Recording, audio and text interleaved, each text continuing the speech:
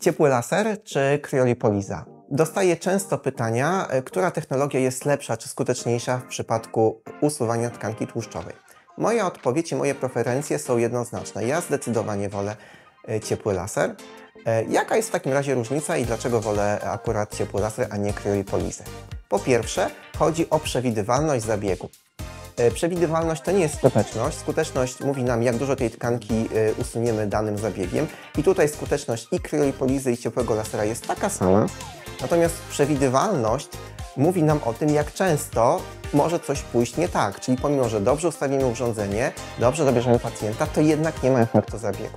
Jeśli chodzi właśnie o przewidywalność, to ciepły laser jest tutaj dużo bardziej przewidywalny niż kryolipoliza. Przypadku kryolipolizy częściej zdarza się, że pomimo e, wykonania zabiegu nie mamy efektu redukcji tkanki tłuszczowej. E, Skąd to się bierze? Ano stąd, że e, kryolipoliza nie niszczy nam komórek tłuszczowych. Ona je tylko schładza, ona je wprowadza stres i ten stres ma doprowadzić do ich zniszczenia.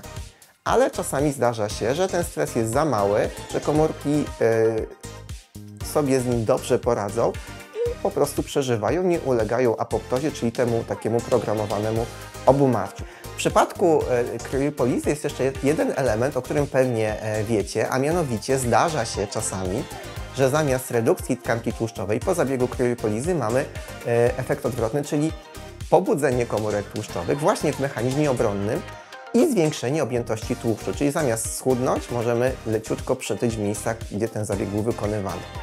Po ciepłym laserze takie rzeczy się po prostu nie dzieją.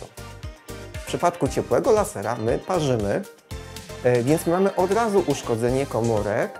To był najważniejszy powód, dlaczego ja wolę e, ciepły laser, ale jeszcze są takie drobniejsze powody, o których też chcę, wspomnieć. Drugim powodem jest czas zabiegu. Zabieg ciepłym laserem jest po prostu krótszy, więc jest to wygodniejsze e, pacjenta, ale też i dla gabinetu. Trzeci powód jest związany z komfortem. Zabieg ciepłym laserem jest trochę przyjemniejszy niż zabieg e, kryolipolizą. Może tutaj nie ma strasznych różnic, ale nie ma tego zasysania, nie ma tego zmrażania, więc, e, więc pacjent lepiej to wszystko znosi i odczuwa. I ostatnia rzecz, ryzyko powikłań. Oba zabiegi są zabiegami bezpiecznymi, ale mimo wszystko troszeczkę bezpieczniejszym będzie ciepły laser.